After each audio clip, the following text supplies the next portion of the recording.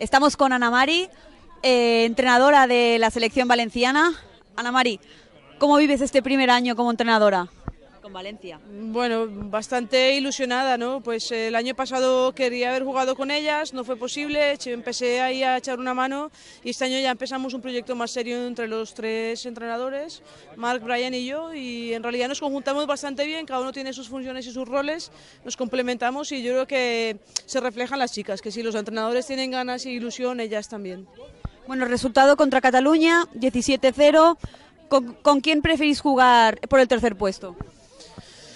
Por novedad supongo yo que Coruña jugamos un amistoso la semana pasada contra Madrid, no jugamos del todo bien como hoy, pero yo creo que contra Coruña es por probar otros equipos básicamente. ¿Y crees que Galicia ganará?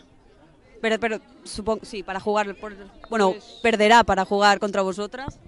Eh, no lo sé. La verdad que no lo sé. Madrid me sorprendió con la línea bastante nueva y Coruña no sé qué alineación va a sacar. O sea, no sabemos si cuentan con las chicas del Seven, con las más veteranas o no. O sea, todo, en realidad este año ha habido sorpresa en los equipos más fuertes porque eh, han faltado jugadoras que se sabe que son determinantes en todas las elecciones.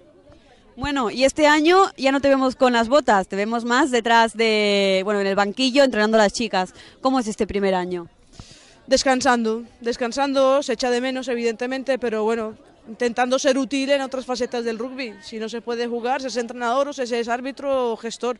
Yo me gusta mucho lo de entrenar, ya llevaba años haciéndolo a nivel universitario y ahora a nivel territorial pues es un reto, es, es complicado, el aprendizaje está ahí de día a día con las chicas y con los compañeros. O sea, nos queda mucho, mucho por, por trabajar nosotros como entrenadores. Pues muchas gracias Ana Mari y suerte el fin de semana que viene. Gracias.